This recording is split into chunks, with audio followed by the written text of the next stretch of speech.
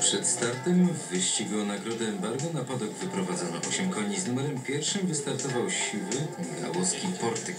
Koń ten biegał 2 września w gonitwie grupowej, gdzie pod wagą 67 kg zajął drugie miejsce.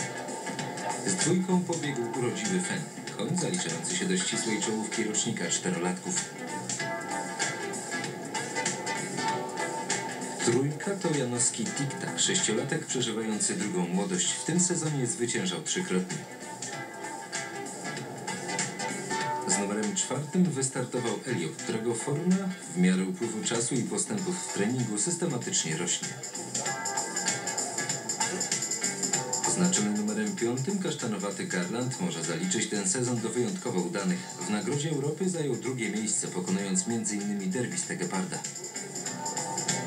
Janowski czterolatek, elektor numer 6, biegał w największych gonitwach sezonu, zawsze zajmując płatne miejsce.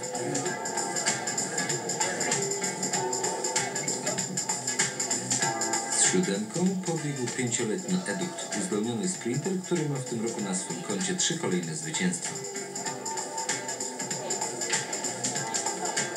Stawkę zamykała oznaczona numerem 8 jedyna klacz niemiecka Imperia. Po błyskotliwych zwycięstwach na wiosnę zawiodła w wyścigach długodystansowych. Nagroda embargo jest handicapem, gdzie szanse koni wyrównywane są poprzez różnicę wag dosiadających je jeźdźców. W środowej gonitwie największą wagę niósł Michałowski Garland. Jockey Gęborys wraz z siodłem musiał ważyć 64 kg. Pod najniższą wagą szła Imperia, która niosła zaledwie 54,5 kg.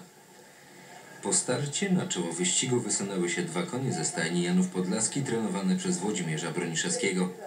Poprowadził tik-tak pod jokejem Mazurkiem przed elektorem, na którym jechał Mirosław Pilich. Dość mocne tempo wyścigu i trudny do galopowania błotnisty tor spowodowały, że już na ostatnim zakręcie ukształtowała się czołówka czterech koni, złożona z tiktaka, elektora, fena i eliopa. Odpadły natomiast słaby w tym dniu Portyk, Edukt i Imperia. Cztery ogiery stoczyły zaciętą walkę o zwycięstwo. Na ostatnich 200 metrach zdecydowanie prowadził Fen prowadzony przez Tomasza Kluczyńskiego. Zaatakował go ostro finiszujący Eliop pod Wiaczesławem Szymczukiem, który jednak przed trybuną główną wyłamał i zaprzepaścił szansę na zwycięstwo.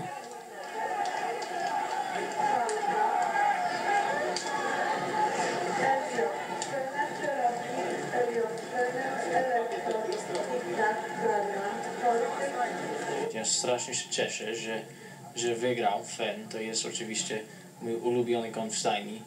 Już zrobił swoje w, w tym sezonie na to, że on prowadził kapitalny wyścig dla derbisty Geparda i już nareszcie był odpoczęty po derbach, nie biegał w dzień arabski i dobrze się czuł dzisiaj i na szczęście wygrał. Był w walce, oczywiście z Eliopem, też z Michałowa, ale to jest naprawdę szczery koń, też z urodą arabską.